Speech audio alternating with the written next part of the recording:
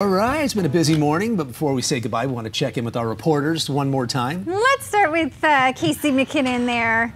Got to check out some of my favorite things, some cool cars. Hey, yeah, Casey. that's true.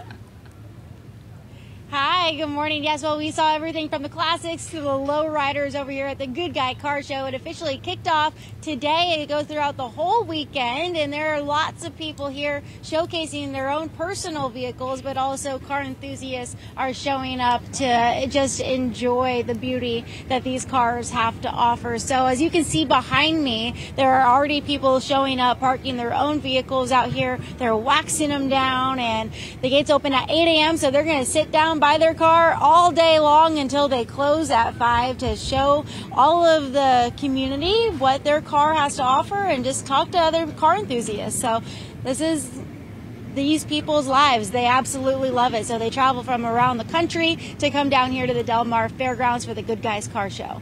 So for now, we'll send things back to you guys. Cool. It's a great place to go to get some tips on. Oh, you know, yeah.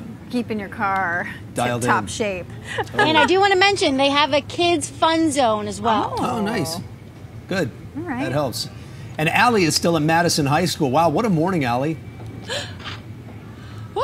I know. I was like, can I get some food or a drink by uh, where we're going here? But yes, hey, it's another alarm clock pep rally Friday, so a big prep pigskin report tonight.